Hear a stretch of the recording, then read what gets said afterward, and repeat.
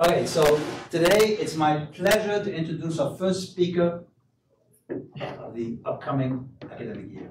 Okay, so today's speaker is Mario Harper, PhD student in our department, one of my students, although I've, i kind of lose track. He's working, he's been working now for the last, uh, what, two and a half years at uh. CISCOR is a robotics lab, uh, which is in the School of Engineering.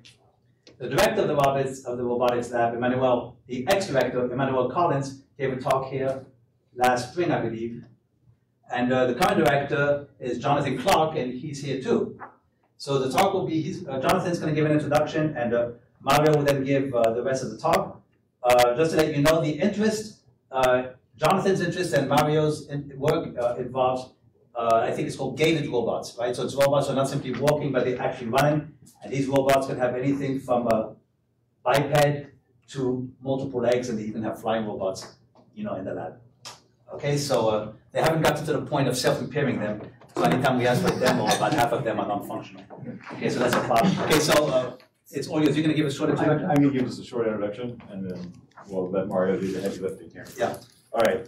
Uh, so thank you. My name is Jonathan Clark. I'm, like you said, I'm the Department of Mechanical Engineering. I just got appointed as the director of CISCOR. So I'm going to take like two minutes to give you an overview of CISCOR, um, largely because our interactions with Mario have been so fruitful that we want to continue and expand these kinds of interactions. It's been it's brought a valuable aspect to what we're doing.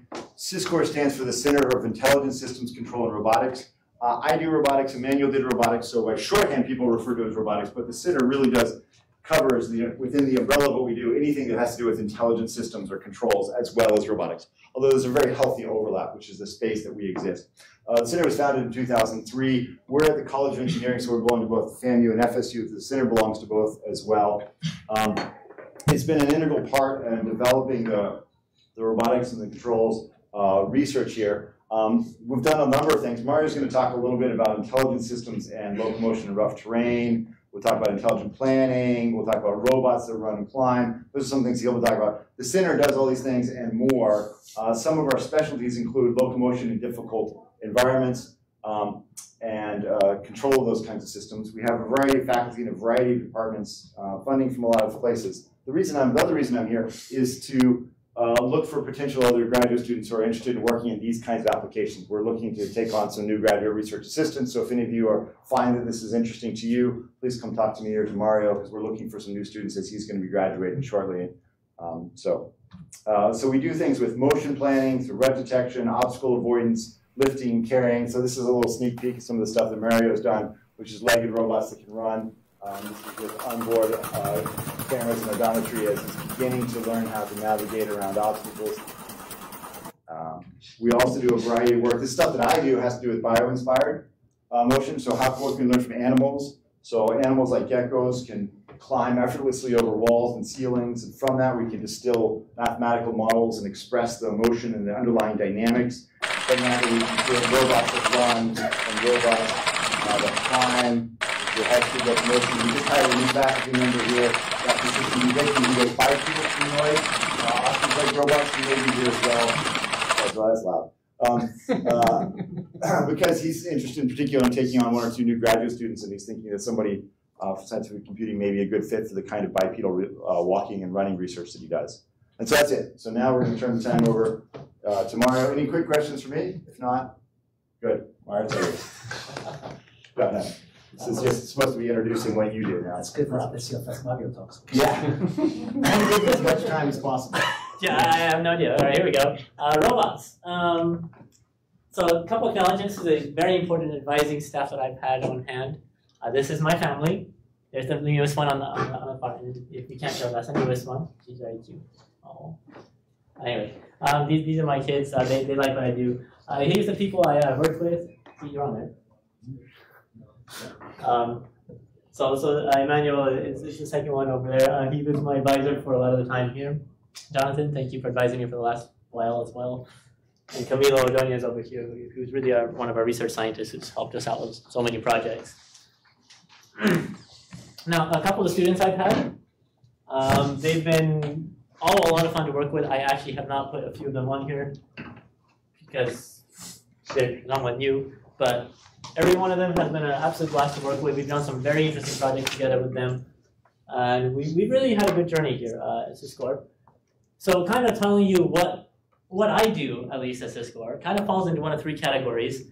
Uh, I do pure controls work, which is which is to say I want to make sure something does something crap properly, right? I don't know what that system is. It could be a robot. It might not be a robot.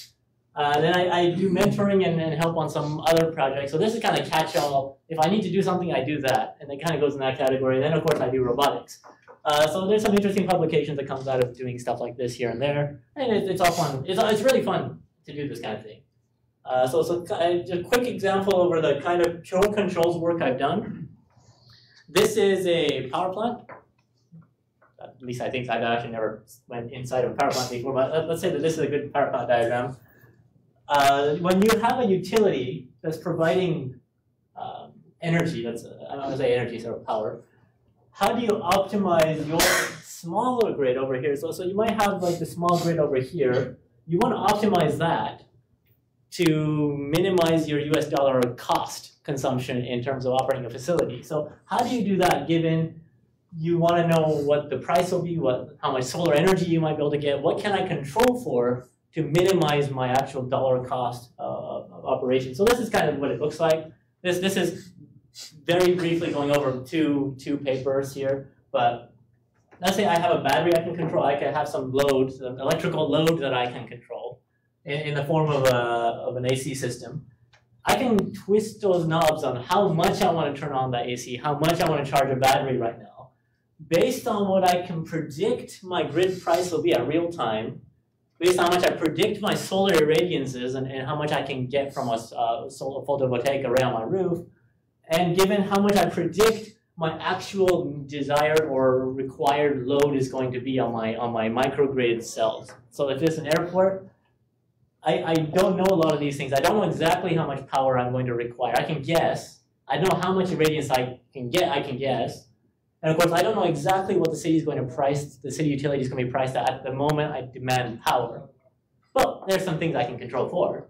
I, there's some things I can predict for. So what is the best case action to take over a series of time in order to get me my minimum US dollar cost for operation for a facility? So that was a very fun series of papers. Again, not at all really related to my research, but something I got to do, and you can too. so in robotics, though, uh, there's a series of different robots that, that I've, I've, got the chance to play with. Um, I've enjoyed all of them. Some more than others, and some are broken, some are not broken. Uh, the, all robots have broken at one point in time on this page, several times for most of them. The most egregious was that yellow one in the corner, which broke the motor shaft, and it was gone for a few months. Um, but we've had a lot of fun with these robots. I kind of break them in, in half here. On the left, we've got mobile robots. These are robots that are uh, two 2D motion robots on a plane, right? You can you can think of this as I have a flat map. The robot kind of moves on it in this plane, and there's some interesting research you can do with those. Now on the right hand side, we've got these dynamic mobility legged robots, right? And those those are quite a bit of fun to play with. Now I, have been able to do a couple little pieces of research with a lot of these robots, but um, the green ones in green are in progress right now they have been toned down. There's a lot less green papers in progress than there were before. So I am actually paying attention to people, to what people are telling me. so when it comes to robotics, uh, there, there's IEEE generally breaks down conferences in one of four categories, and correct me if I'm wrong. Uh, the, the categories in robotics are generally speaking focus on intelligence, which is how the robot makes decisions, mobility, how the robot moves, right? And perception, how it perceives and, and, understands the world, and of course, how does it interact with a human? That one's the one we've probably done the least in, and for a good reason, because that's kind of hokey. Not, not entirely, but, but it's important, but it is a lighter shade of blue than everything else. so, so one of the interesting things about robotics, though, is you kind of have this big gambit uh, of all sorts of things you can do with it, right? Uh, you can imagine to me, uh, and this is an example that was posed to me a few weeks ago, is someone says, clear the table, right? You, you have this command, you now have to process it from a natural language perspective to understand what, what do you want me to do, right? That's intelligence. So now I need to understand what was the command, why did you, what do you want me to actually do? I need perception to see, okay, what do you mean by table, define table, what do you mean by clear, what's on the table that needs to be cleared. The intelligence needs to queue and say what needs to be cleared first, what goes where, and then eventually mobility commands have to be issued to say move my end effector to some point, grab something, if I can grab it, have force control, and then move it in a logical fashion. Right? So in just a very simple sentence to do something, you have a well, in my mind, like you have like three or four papers, but but uh, but you have all of these things that you have to be worried about, right? You, you can't just focus on one thing than another. And what I want to talk about today is going to be a smattering of intelligence and mobility. And the reason I, I say this is what I want to talk about today is motion planning. So motion planning is actually just what it sounds like. How can I plan my motion? Uh, if you are a, and, and, I'll kind of tell you more about it in a second, but you can you can see this robot. Here we go. Uh, this this is one of the early stages of the Minotaur gait. The gains are very high, and there it goes as it turns, and it's able to turn. This was one of the very early turning experiments that we had. Incidentally, that's you right there. But this is kind of hard to predict. Uh, this kind of motion is, is actually very hard to predict because it's moving very quickly. It's doing a lot of things under the hood, and we can't analytically say in real time what exactly the body velocity is going to do. So given that, it's really hard to tell the robot to go from point A to point B when you don't actually know how it moves. it's true. Now, other kinds of planning, and just, just, to, just to touch on this, so, so this, is, this is manipulator planning up here. Very precise incredibly precise planning. and yes, KUKA, KUKA does that because KUKA's KUKA is, is they're German and they, they, do, they do what they want. They make great videos. Uh, but that's kind of, it's hard, but it's, it's different, right? You have a fixed position your robot is always going to be at, and you're always moving an end effector, and, and KUKA robots have very, very good encoders. Very precise. Another kind of robot, this is the Amazon robot. These are mobile robots, but they have they have some nice things going for them. You can see uh, actually, if, if, you take a look here, on the on the ground there, there's little little tags that tell the robot where they are, and it can ID itself on a grid. You can do that here because the robot is clearly in a warehouse. The warehouse isn't changing. What the robots are doing are, are different, and it's very interesting in terms of planning problem. Trying to motion plan for, I, th I think, somewhere around 6,000 robots at a time is actually very difficult, turns out. I, I think I haven't done that before, but let me let me back off from my statement. I just said it, it's probably difficult. uh, but what we're more concerned with is, down here when we're trying to navigate unstructured environment. We don't know what the robot's going to do, and we don't know what the terrain is like, and we don't know how it's going to interact with that terrain. And, right, and at that point, you, you have some more complexity. So why are we? Why am I interested in legged platforms? Um, we have them. They're interesting, but there, there there's more to it, right? Uh, legged systems like you and I have a fairly diverse range of motion. Uh, we can do things. Now, a lot of a lot of these situations here you can see that, right? Uh, if you have a certain obstacle, you might not be able to clear it with a wheel or a um, tracked platform. But there comes a point where you know you have a sufficiently large tractor wheel platform, it will clear obstacles, right? But what we can show is a legged robot is very versatile at a small size. You don't need a bulldozer to get around rubble. You can walk over it. so another interesting thing about legged robots, and, and this and the and the cheetahs really Im impressive. You, you can see how it turns. And you can see this because they're doing all sorts of interesting behaviors. Um, wheeled robots, they, they can't do that. okay, fine. With sufficient propulsion, they could probably do something like it, but but it sounds expensive. so there's like robots behind you, but so all of these different kinds of scenarios, right? Uh, like climbing stairs, if you again, if you have a sufficiently large track or wheelbase, you might be able to do that high, uh, undulating terrains, wheeled robots you tend to start to lose odometry when you have high undulation. Can't really say that, I mean, blanket robots. Anyway. Uh, force perturbation, that's an interesting one. Uh, that uh, I mean, actually go back to that, that one's so interesting. When you give it a force, right, it can correct for it. And it can, it can maintain attitude and, and correct for it. Kind of, kind of interesting. So we need to put all of this together and making, making this like, like a robot work. Now, running has its own set of problems. By problems, I mean interesting research questions to solve. So you can see this on the cheetah here. Uh, when you're running, you have this nice little flight phase where you have a ballistic motion problem right there.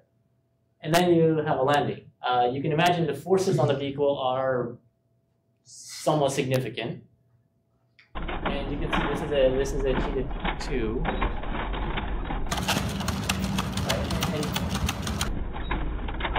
have high degree of high of force generated different parts of, of the robot. And it's kind of hard to predict that, particularly if you're trying to do like interesting maneuvers as you're going left and right and turning. So looking at the state of the art.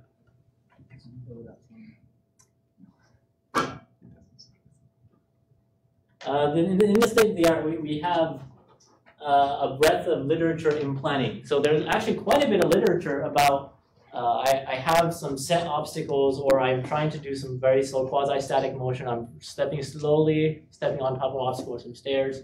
There was a great paper on stair climbing that, that was all about how do I maintain stability, move my center of mass up the next step and go on and climb the stair, right? But some great papers, all motion planning, but they're not, they're not fast, right? They're all about how can I maintain body stability as I go. And I mean, that, that's, that's all fine and good, but since other people have done that, we're not so interested in that. I mean, it is interesting. Don't get, don't get me wrong, I didn't make fun of like. Uh, but but what, what, what's more interesting is saying, a human, when we're walking, right? I mean, I'm kind of falling forward as I walk. I'm not necessarily stable right now as I'm moving.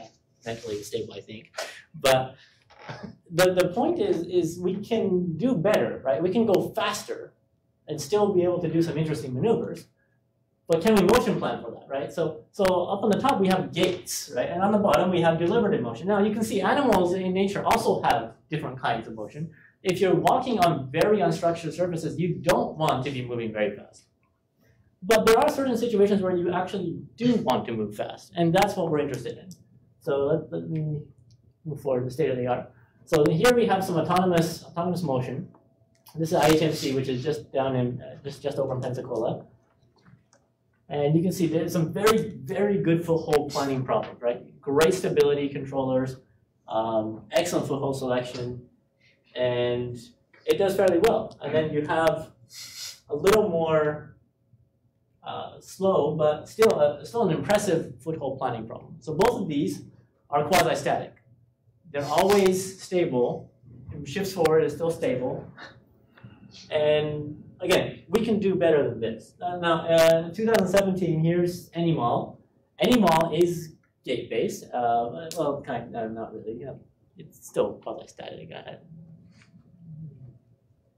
You can ask your local like a robotics expert whether or not this is gait-based. Get his email after this. Uh, but th this is kind of the state of the art right? Uh, it's got great correction. It's not fast yet, but it's it's a good robot, and ETH is very good at what they do. And then, of course, the, the elephant in the room. Uh, I got a quick question. Yes. Does quasi-static essentially mean that at any given time you're three feet on the ground? At any given time, if I stop, I'm stable. Which means you got three feet on the ground? Not necessarily. You can do it with one foot on the ground. I can stand on one foot for a Yeah. little bit. Oh, okay. But if I'm in the middle of the flight phase of running and I freeze, then I fall on my face. So that, but I'm still stable when I'm running, but I'm not quasi-static stable. If you have point feet, yes. If you have full point feet, then three feet. Right, exactly. And then you need three. Okay, okay. Thank you. So, so this is the elephant in the room uh, in all the legged robotics. This is BDI. Um, if you've seen these videos, um, robotic for your Elektrikler.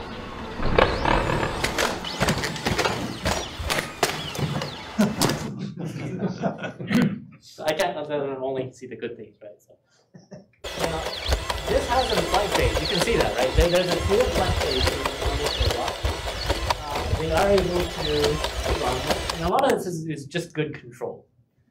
And then of course this one, this is the more interesting one to me, because I see this map in this corner, and this map is fascinating. So this is a series of waypoints that's following, generated, it looks like from RRT, uh, based on looking through, trying to comb through the website to figure out how the heck they did any of this since they don't publish anything. Uh, this is the Spot Mini. It's, it does a reasonably good job.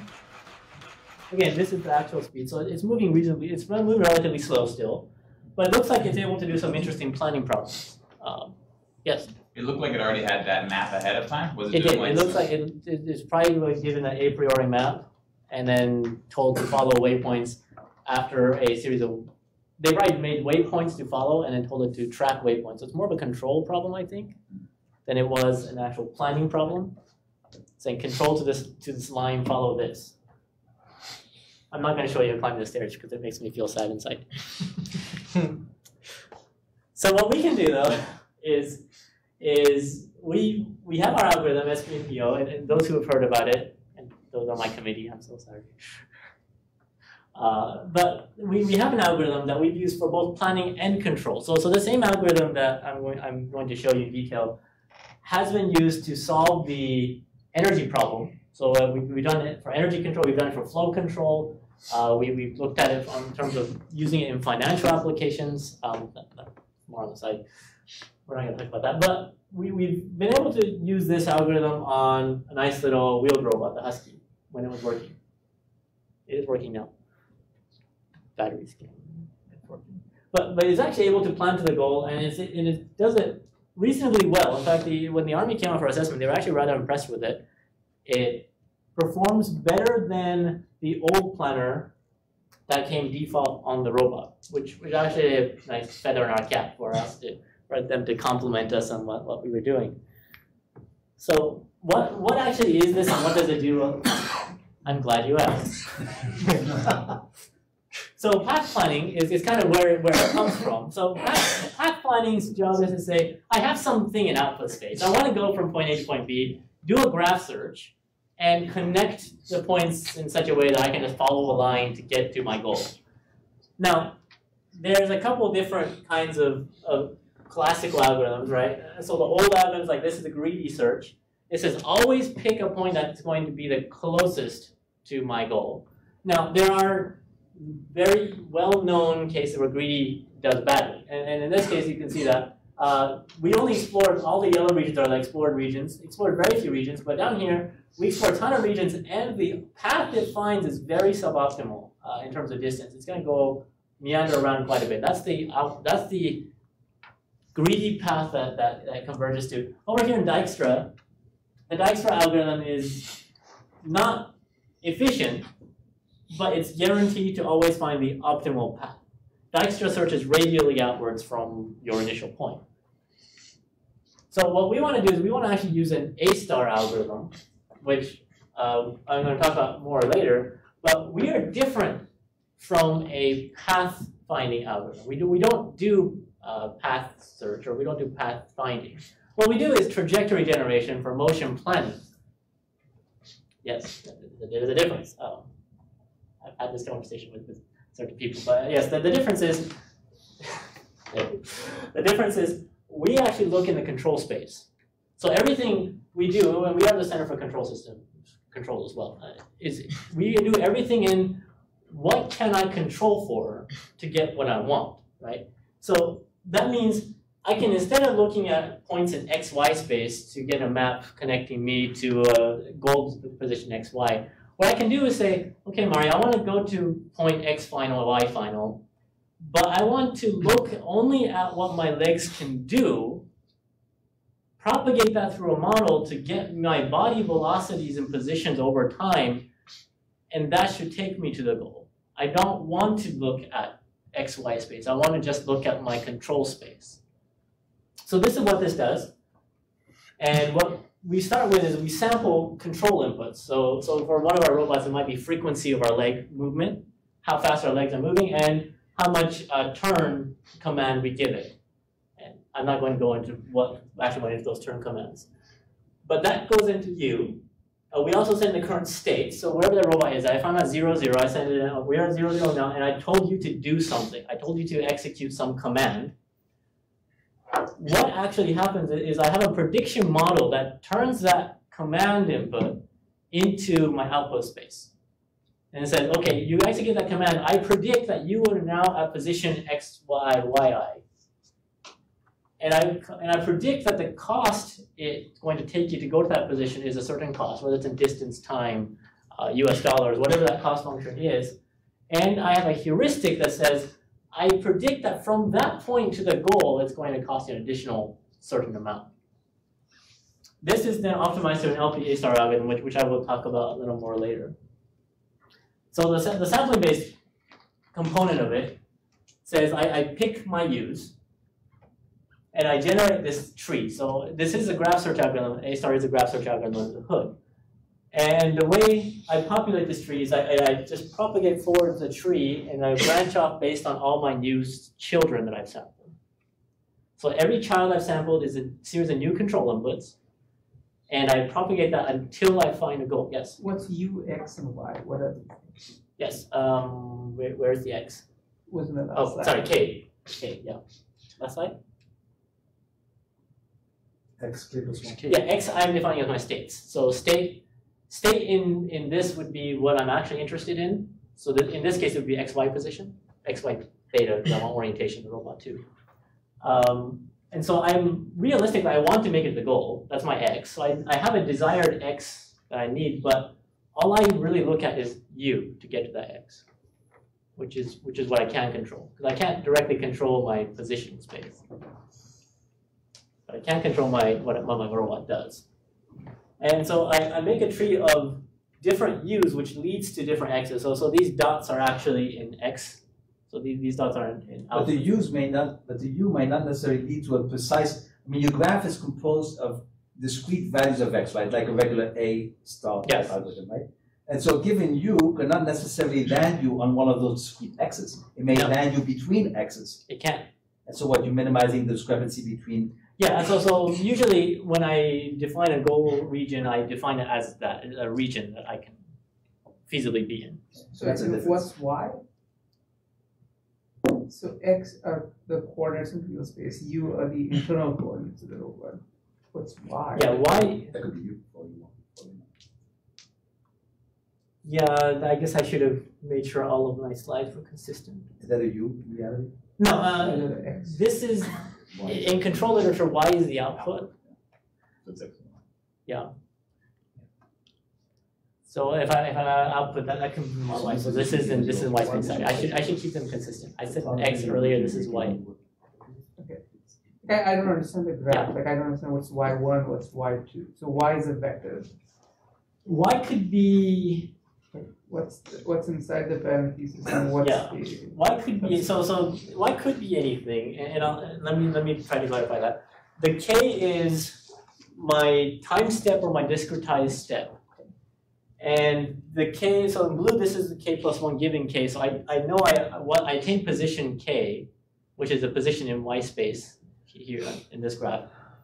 And that position uh, leads to, to the green, if I expand those out with, with new robot inputs, it leads me to green, which is given uh, yk plus 2 given k. Is that fair?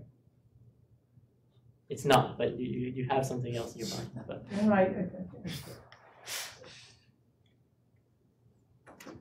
it's, now the model the, the model I use could be any number of things. I, I favor the neural network because neural networks are convenient. It could be a simulation. So if you have the luxury of simulating in time, which we should be done in terms of power systems, uh, turns out power grids, your 15 minutes is actually okay for control time. So you have 15 minutes of time to propagate out your model. That actually means that you can run a full simulation. Uh, it could be a very quick input-output model where you're literally evaluating a function that you have an analytical answer to. Uh, and there might be others. Those are the three I've used, but I have been told there are others. Wait a minute, now, in a simulation, you got a set of governing equations. Yes. In a neural network, the neural network can be supervised and supervised, and you've got a whole range. can. So what kind of neural network is it? And if it's I'm glad you asked. It's literally on the slide. Okay. Right, so. Thank you for being here. Now, uh, the, the model predictive element of it, so we, there are different cost functions that we do have to evaluate with. Uh, in terms of robot planning, uh, we've got minimum distance, that's a very common one. That's what I was doing all this morning. Is trying to say, I, I have some robot at some point, I want to get it to some goals in the most distance efficient manner possible. Which is to say that's different from, you know, I want to save time, I want to save energy. This one's actually a bit tricky because you have to understand power models of the robot and how it corresponds to motion. And then minimum deviation. This is the MPC cost function, if, if you're familiar with MPC literature. It says, given I have some reference, which is something I desire, minimize the error from my output to what I desired. And that's that's that's the MPC cost function. I I, I like that last one a lot because it, it's a nice catch-all for saying I really want the robot to follow this particular trajectory, minimize the error of that trajectory, and then it will it will do that. So so usually I end up starting a plan for robot on the first one, which is minimum distance or minimum energy, and then I say correct for deviations using this last cost function. Yeah, but I mean, is that happening before your robots, okay, look, you wanna go from Mhm. point A to point B. Between those, you may have twenty different steps, let's Right. say. Are you doing all these calculations while you're still at point A? Or are these calculations occurring while the robot is on its way to point B? And, It and if depends on the robot. it. it depends on the robot. Okay. And the computational power on board the robot, as well as the perception stack. Sometimes we do it real time. It's a great paper I have on parallelizing this, this algorithm so it can be done in real time. I think you're on it. That's fine, it doesn't, it doesn't mean, it doesn't mean I understand all the details. Oh, no, no, that's fine. There's no application whatsoever. Fair enough. Uh, um, yes, so, so the A-star algorithm which we use, and this is part of the LPA star, uh, it takes the greedy search, and for, for those of you familiar with the A-star algorithm, I apologize, this is, this is, I'm sure, boring. But the greedy search in yellow and the Dijkstra search, you can actually put them together and weight them in such a way that you you move towards the goal, but you still guarantee optimality. So your search region becomes much smaller. It's it's still no better than a greedy algorithm. The, best you can do is a greedy algorithm, but it's much much better than Dijkstra in almost all cases. And th- this is a classically hard case. This is a trap problem. Um, everyone in motion planning knows this problem. Uh, it, it is an annoying problem. Uh, this is this is the canonical problem in motion planning, and the best you can do in search is is this region right here. But by combining it, you can say, I know that my cost to get to my goal is whatever cost I've incurred to get from point A to some middle point B, plus an additional cost I expect to get from that interior point to the goal. And that's how, it, that, that is how A star works. I'm pretty sure I confuse people. I apologize for that. I'm going to keep going. So the heuristic function actually matters quite a bit, and it changes based on the robot. Uh, up on top, you have a big track vehicle, the, and the heuristic functions are the one of the secret things about our algorithm and making sure that it actually converges in a timely fashion. What it means is, if I know my robot is facing some point, right? If I'm facing you, I want to go to that door. How much distance do I compute for my robot to go from here to there? Well, that depends. Can my robot turn in place? Because then I can calculate Euclidean distance. Some robots can turn in place. Climbing robots cannot turn in place. So the distance computation get from here to there is actually about eight times that of, of what it takes for me to, to just turn and go. So, and these, every cost function, heuristic function, has to be well engineered and understood based on the properties of the robot, which is part of the research. It's very interesting, but it's also painful. Another way to define the heuristic function is we can actually change the way we, we sample. Um, this is the this is the easy way to to get computational speed up. Uh, you can see this is an RRT algorithm which we've actually um, inherited a lot of our uh, inspiration from. If you bias your search towards a certain region, and you're always sampling in such a way that it's kind of biasing you towards towards some some output region X Y, then you'll converge faster than if you if you just randomly sample it. And I think this is true. There's a difference between Markov chain and, and MCMC methods. So we can actually use both. We, we can have a nice uh, analytical heuristic based on the physical dynamic properties of the robot, or we can and we can combine that with a nice um, sampling based heuristic that, that biases us toward, in our sampling towards what we are interested in. Uh, finally, the optimization, it uses an LPA star optimizer. Uh, if you're familiar with A star literature, this is lifelong planning A star. It's convenient for replanning purposes. That means if I generate this graph and I've optimized in the graph, if I wanted to, I can keep that graph, orphan some nodes, graft it back into a new tree, and still um, save on computation time. It, it's a very interesting algorithm. If you have time to read it, I think it's a fun paper. It's a it's a Likhachev's paper, so it's like 60 pages long, but it is a good paper. Uh, one of the reasons we can use LPA star though is, uh, let me back up. A star is a great algorithm. We don't grade, we have a tree. The reason we can get away with that is because we have this implicit grid that whenever two nodes are sufficiently close to each other in output space, we actually merge them and decide which one is the victor. So given these two paths, we, we one took two control inputs to get to some point x, y, and then another one took one control input to get to point x, y. We decide which one was the most cost-effective way to get there. Whichever one won, wins stays in the tree. Whichever one doesn't is pruned from the tree. Yes. So does that mean that when you have given a new problem, the fr- when you have some new objective? Yes. That means you get some heuristic that pops out, and means the first step after that is then to populate this grid and then Yes. pare it down. So that has to do it anytime you change your objective. Yes, if I change my objective, I could keep the node if it if if I needed to. So so there are some aspects of the node I can keep. Like if it's a completely different problem, a completely different robot, I, you shouldn't keep any of this. But if it's the same inputs, and you just said I'm going to point like x y over here, but then I stopped and said I I had an invalidation in my path, right? Like some obstacle or someone walked in front of my sensors. I can't go there anymore replan, I can keep the valid parts of my tree still and branch off of what I existing what, what my existing tree is. Alright, so, so, but, but, but this grid base is fundamentally heuristic dependent and therefore objective dependent. Yes. Thank Probably heuristic methods.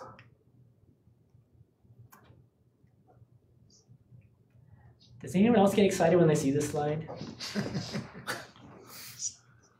Riveted. Yes. Don't know equations.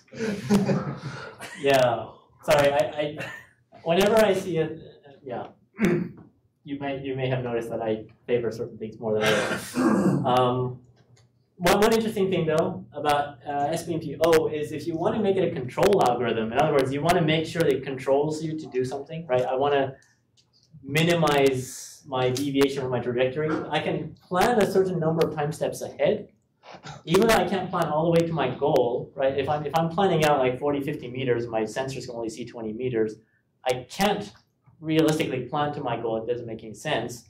So I only plan out to my effective sensor range, and at every step I replan a new path as far as I can go, and, and eventually I will converge to the to the final path. So so you, this kind of uses a control algorithm in, instead of just an optimization algorithm. They are very similar.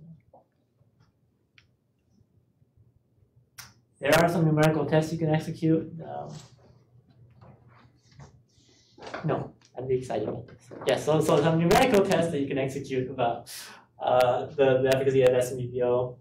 Uh, you can compare it to some other existing uh, MPC functions. So, so what we saw was Rastrigin's function. It's, it's a convenient one to test with.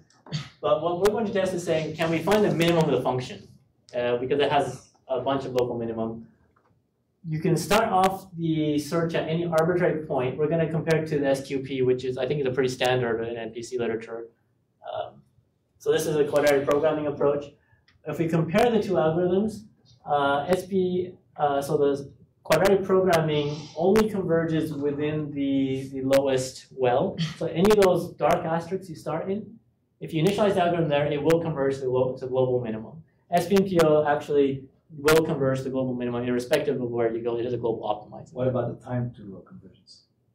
In other words, in other words, your the one on the right, Mhm. conversion may be point. But if Yes. you, but if you were to put the amount of time it takes to converge to within some error to, to the global point, you might, Yeah, and it the- the score conceivably might be goes different. up exponentially as you go towards the right. I mean, Yes. maybe, and you don't know No. because you don't write. No, I'm, I'm glad you asked that. Uh, not really, but I, I'm you, you point out something interesting because SBMPO is it is an A star algorithm. At the end of the day, it is A star is under the hood, and A star is only as fast. And I think those in the video game literature know this because A star is a very common kind of a, a sprite manipulation and, and automatic planning algorithm. A star is only good if your heuristic is good. So if your heuristic uh, in distance is easy, Euclidean distance is usually a pretty good heuristic. Um, if I know that I'm going to cost a certain distance to get there, I will converge very quickly because the algorithm is going to bias itself to search along regions that have that same cost. But if I'm planning from here to that back door, there is a big obstacle field in my way. Euclidean distance is actually not that great of a heuristic at this point, so I've actually spent a lot more time searching than I perhaps should. But if I know something about my problem space and say, my heuristic needs to be Euclidean distance times two, I will probably find the solution very quickly. So in this case, we had a zero heuristic, which means we have no heuristic. It's just a it's just a Dijkstra search, and it wasn't as fast as SQP. Yeah, I, I, I can't remember exactly what it was, but if we biased the search because we knew the goal was at zero zero, then it, it converted almost instantaneously. Okay, so when you run your algorithms in a practical situation, you have cases where heuristic can actually change as a function of time. In other words, as your robot is moving and the terrain changes, I can imagine that if it sees a rock all of a sudden, it would change either the heuristic continuously or choose from a finite collection of heuristics. Do you look at these kind of things? Mm, No, but it's a good paper. Talking about a lookup table of heuristics, that would become. Well, that's obviously the simpler method, but I mean, the more cool method, I'm not suggesting I've got an answer, right? Is to have a, is to have a neural network which analyzes the image and basically outputs a set of parameters to the heuristic, which would be parameterized by some complex function. And so heuristic can actually change continuously according to the environment, and then you get a robot which is more adaptable. I mean, this is in my mind, you know, it doesn't mean anything about implementation, but I can imagine that. Yeah, one, one of the most interesting problems in robotics recently, uh, and when, when Max when Max and Likhachev came by, you, you mentioned this, but you have a robot that's holding a mirror. You want to get this robot through a doorway and put the mirror on top of a table. So what it has to do is it has a mobile planning problem, it has a manipulation problem, and it can't fit through the door if the mirror is on the side. So it has to figure out that it has to move the mirror up, navigate from the side, go around the narrow hallway, go into the room again, then put it down and set it down on the table, right? And it turns out um, you really need more than one heuristic because you can't just say, you know, planning problem x, y two, you know, y two. You can't do that. And he made a new algorithm called MHA star, which is a multi-heuristic A star. And I think that would benefit greatly from what you just said. Um, yeah, another paper. Great paper idea. Well, then, it happens. Anyway, there's some neural network stuff. You can use that too. Uh, okay, I'll, I'll be really fast. Neural networks are, are particularly helpful because you can sometimes analytically determine what you need. So the robot's going to do something, you don't know exactly what it's going to do. What, what you can do is you can put in a motion capture field. You can give it some commands and then see, okay, it, it did this. I gave it this command, it executed this, and it did this kind of strange motion. At least I was able to characterize it. And then this is a prime example where you know the neural network is really convenient because you I don't know fundamentally what it's doing. I think I do, but then it doesn't do that. So the neural network then learns what my control inputs are, what my actual body velocities, what my power consumption, what my perhaps time it took to actually to, to do something was, and everything I need in terms of real state information for the robot in, in the real XY space, I can get out of a neural network. And I found that the recurrent neural networks are better because this is a time series system. Uh, I suppose I could use a convolutional network where we pass in a vector of time series as well, but the recurrences have worked really well for us. so we, we've tried recurrences where we explicitly feed back outputs as an input. We've tried it where it's actually at real RNN. We've used LSTMs. LSTMs have worked incredibly well. There are some issues getting them online in training, but again, there, there, there are many things that we've run up against. Most recently, we've, we've had issues with the Jetson TX2, which is NVIDIA embedded systems chip. But more on that when, when you come talk to me at Florida.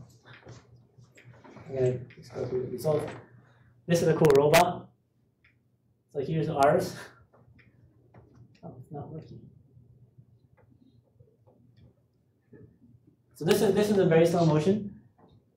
In the XRL, you'll notice it can't turn the leg. So unlike uh, wheeled robots or cars, which I can change an axle and change the heading heading angle, the robot has to introduce an asymmetry, if you will, in, in the way that its right and left sides behave in order to get turning behavior.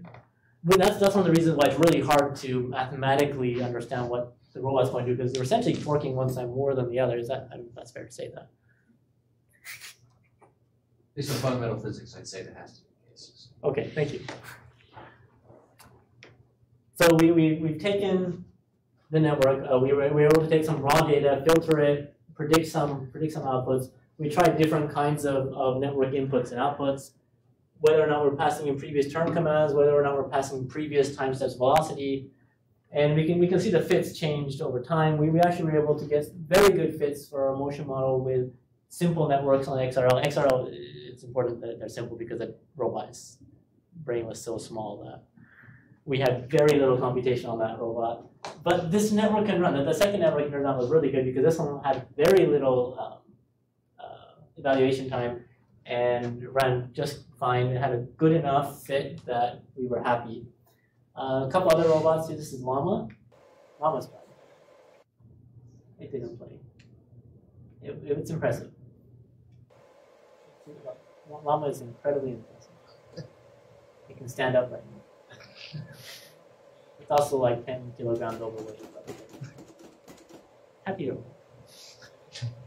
That's the one that is being developed uh, with, with JPL. Uh, we, we were able to help with some, some of the little things here and there, and we're, we're trying to write a motion planner for this robot.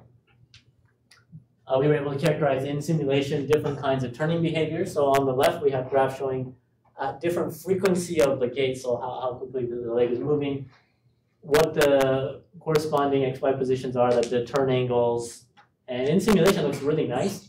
We got some nice speed, velocity, power curves to say, I, I anticipate if I have a high angular velocity, I, I expect to use more power. I think everyone expects that. The harder I turn, the faster I turn, I would use more power. So there's a couple interesting things that we've learned from simulation. We've trained neural networks on this. And these, and these neural networks have been fairly accurate. Uh, they're not as accurate as I would have liked them to be, but they did pretty well even noisy data. And I'll show you why it's noisy here. Or, or not, maybe not. Right. We're, we're predicting velocity, power, angular velocity. We give it some canonical cases, a narrow gap problem, wall gap problems. These, these are fairly canonical motion planning cases. And we can, we can see different kinds of planning modalities that we, we've tested in simulation. This is distance-based planning versus um, power-efficient planning. That's right. In a distance planning case, we, we actually run into some obstacles, uh, which, which is actually really interesting. But anyway, here's the video of it actually working. You can kind of see why we why we have some issues. Uh, there's a bit of a bounce to these vehicles, even in simulation, where you know, uh, in an ideal world, we shouldn't have a lot of rolling motion. We actually see that there's quite a bit. This is a big robot. Some of our little robots, uh, the bouncing is quite bad. Okay, hold on. So I'm, I apologize. No, no, I mean, this is finished before going to the next slide. Go back to the, right there. What does computational time mean? I mean, what? Computational time is what? is uh, computational time on board the computer that we're using on the robot. So this is an I actual. know, but obviously the trajectory that you showed, assuming it was real time, took more than 0.1 seconds. Yes. So we're talking about computation per step? No, computation for the whole trajectory. So the whole trajectory in red that you see here. So this is a case where it was computed before we started? Yes. Okay, that was not obvious. Yeah, sorry about that. So yeah, everything in red that you see there is computed in 0.1 seconds. Okay. But we're not replanning here. We're not replanning, but we are correcting. So we, we do have the correction that we are trying very hard to implement right now.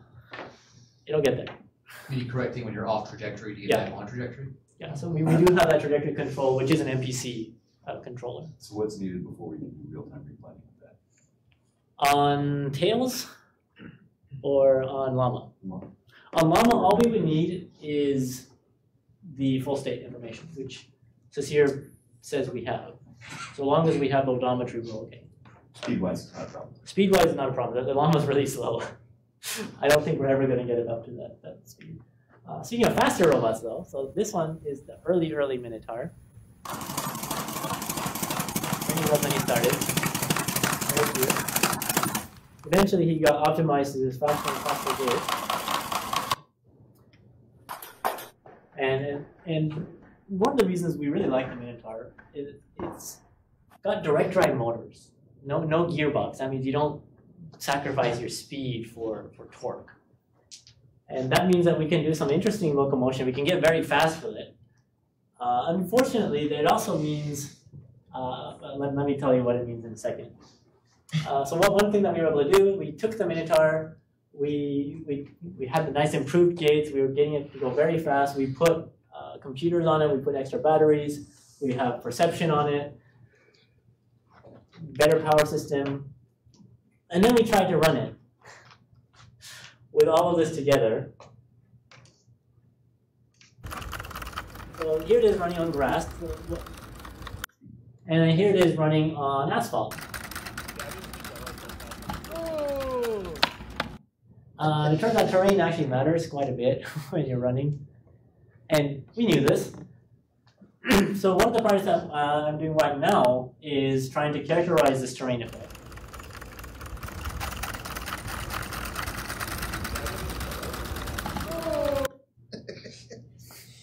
So in other words, in both cases, the, the path was identical because we That was identical, but it did something different. Yeah, yeah, because, yeah, Because, because as, as you expect, I mean, the terrain is very different, and then we, we whenever we run, I mean, running on sand is very different than running on asphalt. Yeah. Are, are you learning dynamics on, uh, on the, using dynamics from the learn, uh, model from, uh, model? There- Yes, we we learned something on lab terrain, right? Lab tile From experimental data? from experimental data, Okay. And then we applied it outside, and it didn't quite work. So we, we applied a correction factor. So when we apply a correction factor, are you gonna play? we apply the correction factor, we can actually, you know, do things pretty well. It's not perfect, but in, in simple in simple cases, we're, we're just trying to get out a little bit farther would have been nice. But in, in new terrains, it actually is able to perform fairly well. The reason it's jittering is the gain is really high. It's trying to correct the motor very, very accurately. It's, it's trying to keep it to a certain position so it's also back and forth. But in both cases, it's, it's actually able to correct for the terrain factors reasonably well. That's the paper we just submitted. We will correct that paper as we go on and add more, add more things to it. All right, uh, so in, in a nutshell, one of the big things that we wanted to show is we actually can motion plan for running like a robot. Ooh, not anyone, you know, no one else has said this yet, right? So we went, we were the first one to say we're motion planning for a running legged robot, not just a regular legged robot. We, we're running, we have interesting things going on, and we're motion planning at high speeds. At least that's that's one of the big things that we wanted to say. Now, everything else, there's a lot of things that can that, that happen. Uh, please talk to us, and we would be happy to tell you more about what we do. So if you, uh, thank you to all the people who helped us. And if you have any questions, um,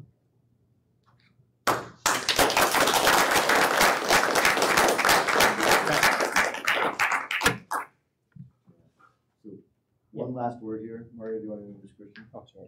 Or do you wanna do it? um, So- So we're gonna, unless you ask, we're, we're about to run over time, but I want to take one minute and let Christian introduce himself. He's a new faculty, just joined our department, uh, three weeks ago. He's working on, uh, bipedal walking and running with robots. Uh, he's in particular looking for new graduate students, so if any of you guys are looking for research opportunities, he's gonna take two minutes and talk about it, five minutes? I don't know. Yeah. Talk about the cool stuff that he's doing, and then we'll open up for individual questions afterwards, so thank you for your patience and let us take two more minutes of that's your not time. right. And yeah, don't worry, it, it, it won't be long. It's just videos. I know people love an extra presentation after one just ran. Um, so, so please one more. Yeah. Ah, there we go. There we go. And if F5 is still a button here. So as you see, this is my legged robot. Right? so yeah, so hi, um, just real, yeah, so so real quick, my name is uh. Sure. Middle button. Middle button. Yeah. So my name, my name is Christian Hubicki. Um, you go back here. Uh, I do bipedal robotics and, and beyond. Uh, I'm a new faculty here at, uh, at the College of Engineering Mechanical Engineering Department. Um, and my work has to do with kind of all sorts of venues of legged robotics. So uh, I typically like to highlight sort of four components of my research. One is, you know, this bipedal walking robot like here, right here that we use that we control called Durus. We do some analysis of running ostriches, which which were fun experiments to be a part of. Uh, jumping on weird terrain, something that Mario has dealt with, and this kind of interesting looking robot called ATRIAS, which we actually got running outside.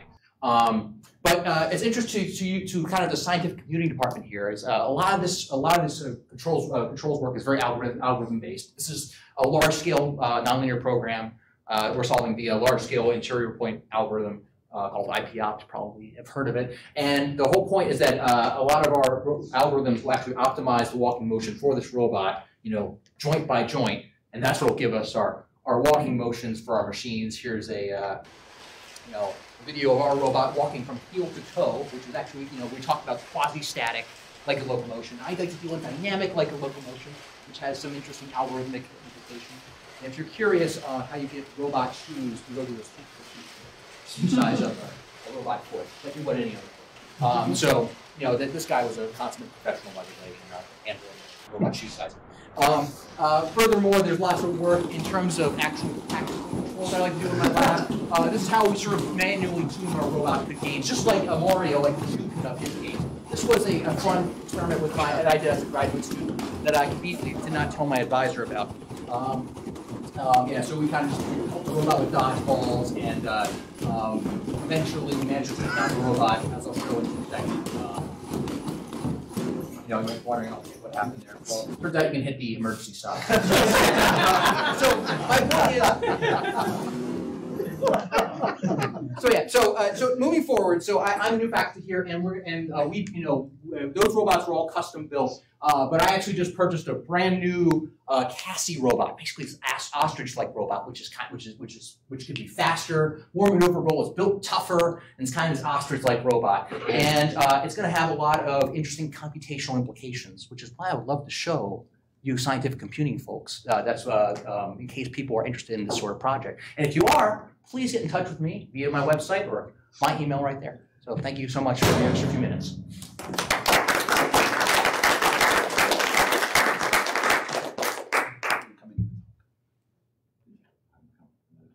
Okay, questions? As well? Yeah, yeah, sorry. No problem. Or you guys all I mean, come on, robots are ultra cool. Surely there are questions. I have a silly question.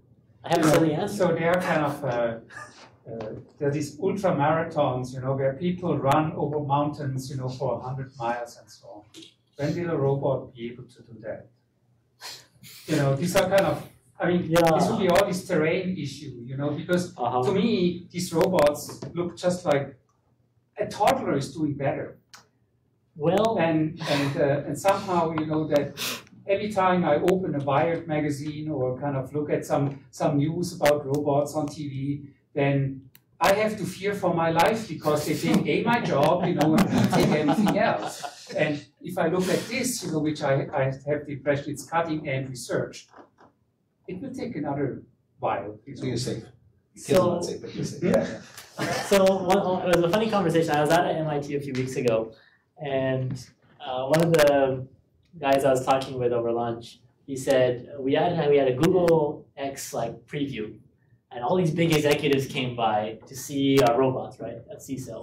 And there for their capstone demonstration, they had an Atlas robot walk up the stairs without a harness, which which is terrifying. That's an expensive robot, and it opened the door for for the and then let the let the people up the door, right? And one of the executives looked and said, "My four-year-old can do that." right? And in one hand, yeah, sure, uh, four-year-old, can do. I have one of those. Uh, on the other hand, we got we have a mechanical four-year-old we can make now. Isn't that cool? uh, because you know, four-year-olds have this great proprioceptive stack. We've got like sensors everywhere. They've got great like adaptability. They've got great intelligence. Uh, and it, it's almost flattering to say like you know a four-year-old Mm. we can almost replicate the capacity of a four-year-old to a degree. But in terms of going over a mountain, uh, yeah, well, uh, I think you're safe for a little while. A- And to be clear, the four, you know, four-year-olds we're happy to do, we're very concerned about the robotic terrible twos, quite honest. Um, so, you know, we haven't broached that subject yet, so. Yeah, I just wanted to add that for that four-year-old, it took him like millions of years to evolve to be able to do that. So I think we're in in good shape. Thank you. Yeah.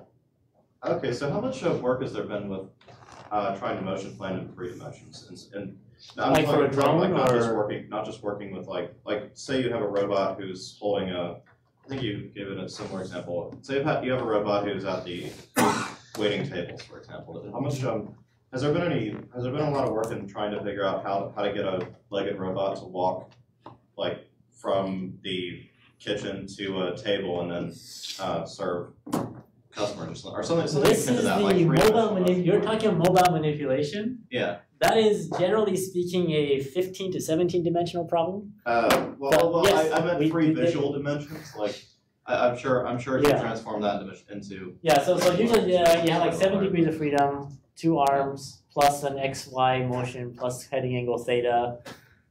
Then it gets annoying. well, yeah. I just, uh, Um, but in, to answer your question, yes. Um, the first project I actually did in the lab was actually on a space vehicle, which was a six-dimensional problem because you were worried about x, y, z space and your velocity because you're trying to get to some point with a known velocity, right? In space, you don't want to hit a target with high velocity. So you have to hit a target with zero velocity, and that was an interesting project because you do have to worry about not just pose, which is x, y, theta. You have to worry about a lot more stuff. Oh, sorry, did you have something to say? talk about I have a question. Oh, planning, yeah, planning is different too. Can you give some context on like the size of the compute power on board each robot versus, you know, like a like Raspberry Pi at the lowest end versus like a laptop? I mean, what, what's what's on Must be board nice to some of the robots. these robots? Like are they, are they, Um, there's not a lot of storage involved with it, just basically. it's just let, all yeah, let me kind of walk you through the three or four basic computers we've, we've considered. Uh, on the high end of the scale, on like the Roman, we have four Gigabyte BRIX computers, which has the i7 6700 HQ processors. Um, and those ones are running 16 gigabytes of RAM a piece. We have four of those, and then we have one uh, next gen. It's called next gen. It's a it's a and that one's running a 6520U, I think. Um, stepping down from there, the Huskies running a couple TX2s and a Mac Mini. And then an Intel, and then we have stepping down from there, we have an Intel NUC, which runs the, at least it's running the seventh generation, Intel i7. And then we step into the small robot scale, which is uh, the compute stick, Intel Compute Stick has an M5 processor, two gigabytes of RAM. Uh, we have one version with four gigabytes of RAM. And the story digresses from here. Uh, at that point, uh, the worst we have, I think, in terms of real computer is a Intel NUC that that has a small Pentium. So everything is on board On the board. robot to do the job it needs to do. Is there any kind of comparison of I don't know about HV or Doing- those guys. Yeah, I mean, is there, is there a remote aspect to this where like, you know, a larger compute can solve bigger problems that talks back to the robot, or is that a different kind of, uh, I guess, that, that's out of scope of what you're trying to work with these robots? Are these supposed to be autonomous robots without any connection to anything else? Um, Army frowns on having tethered connections. What about, what about flying drones which have onboard computers to actually communicate wirelessly with your, I think they have worse battery life than our, our robots. say that again? I think their battery life is worse than our robots, but um, we we do have drones too. We, we bought drones. Um, Tails. What's your battery life? I mean, how long is this thing gonna Right. run around? This one? I don't know how long Cassie can run. Cassie, well, that, that's not fully tested yet. That, that, by the way, that, that entire little black chassis in the middle, that is contained by like, basically a giant battery. Um, we could probably get, um, I would guess about an hour or two out of that, out of that battery. right pretty there is my guess. Which in, which in, which in legged robotics is, is quite good, but that's my other guess. And what you mentioned, by the way, uh, is, is my gut feeling, this is only from a control standpoint, where I'm trying to keep the robot from falling down most of the time. Our heuristic is that if the, if the answer is we need a bigger computer, we sort of say, we're probably approaching the problem wrong. But for something like a, like a drone or something, some kind of drone army or something like that, I could, I could see that in that sort of context. It's not something that I'm aware of being thought of in the context of legged robotics, Yeah. as having some super brain elsewhere. Yeah, now, now we have one robot right now, it's called Tails, it's a climbing robot. Climbing is even worse than legged in terms of payload, is that fair? Every, every ounce is going to impact not just the, the, the, dynamics, but like whether or not you can even climb. So that one is actually all done off-board, so all computation is done off-board, sensing is done off-board. All it has on board is a small chip, a teensy that accepts commands. And then it has very little logic on board to to keep the keep the dynamic the natural dynamics of the robot. Uh, probably you already know this, but uh, when you're dealing with three-dimensional stuff, motion, uh, rotation, it's better to work with quaternions. And you can actually, I mean, I didn't see this, but this actually help you to reduce uh, the number of variables, and it might give you a more. Yeah, yeah. The compression through quaternions is absolutely important, and that's why we rely a lot on ROS because ROS has the automatic quaternion commands, and it can take our point clouds and put them into the quaternion space, which is which is super helpful. But you are right. Have you done that before? Um, in a different, yeah, something like that in Norwest. Make sure you leave your name. Any other, que- yeah, go ahead, Alex. Okay, um, so you were talking before about trying to, about trying to do, I think early in your presentation, about trying to do motion planning on um, undulating surfaces. I'm not responsible for anything 15 minutes or earlier. Or, well, okay, but I, I, I remember that being part of your presentation. So Okay. at what point, so how do you do, in uh, computational, computationally speaking, if you have an image from a, uh, from, from a camera sensor on, on one of these, on one of these robots, and you're trying to figure out, and you're trying to figure out what is, where, how to, how to plan within that undulating motion, do you, do these robots have the kind of computing power it would take in order to, in order to figure out the angle of incline within that undulating motion to classify, this is an obstacle, this is not an obstacle, I can cross this or I can't cross that?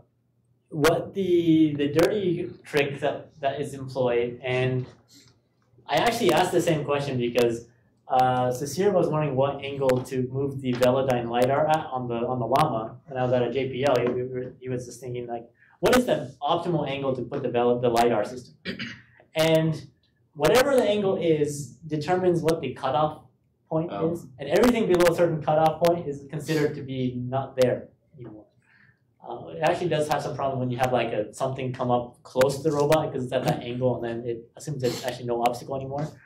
Uh, so you do have to keep that in mind. But yeah, they're, they're, they're, we use lidar and just cut things off instead of trying to do image processing because image processing is expensive. Would the uh, robots have the computing power necessary to do some, to do some sort of simple image processing? The Xavier chip should help if you if you're familiar with the Xaviers. It came out just a few weeks ago. Uh, NVIDIA's newest embedded system deep learning chip. It's supposed to be the same wattage, 20 watts, but better than TX2 because TX2 was not a 64-bit architecture, which is causing us grief. Okay, cool. Okay, one, I'm gonna ask the the last Yeah. question, okay, so can you say a couple words on the courses that Emmanuel had you take when you joined CISCOR? I mean, if anybody's interested, it'd be good to have an idea. yeah, anything taught by Jonathan Clark you should take. Um, they're fun courses. Or what are Uh, so we have intro robotics, biorobotic locomotion, legged locomotion. Those are probably the two that are most relevant. Then What you can control stuff. Controls. I'm the new controls guy, it appears, so. So those are the core that you would need.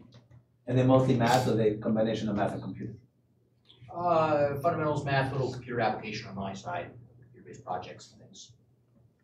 I tend to like to have project components in my courses so people change your research. And in Jonathan's classes, I think I've had one paper that's coming out hopefully in ICRA, and then another paper a while back on motion plane that I that's come out of his course project. So he put, I'm sure they'll both push you, but in a good way. Like you lovingly pressed off of a cliff, you'll, you'll learn to swim. Okay, the point is, is opportunity, okay, so you should at the very least talk to these guys. Right, so you all have Mario's mail, at least you all have my mail, so if you want to communicate with these guys and you can't access them directly, access them through me. Okay, any more questions, that's it? Okay, thanks a lot.